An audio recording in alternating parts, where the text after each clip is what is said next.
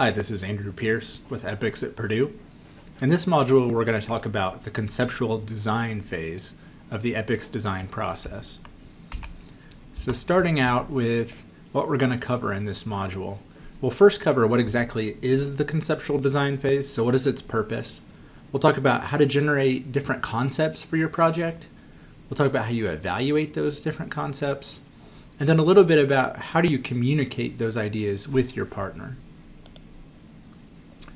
So starting out with what exactly is the conceptual design phase, this is the part of design where you've talked with your users to understand exactly what their needs are.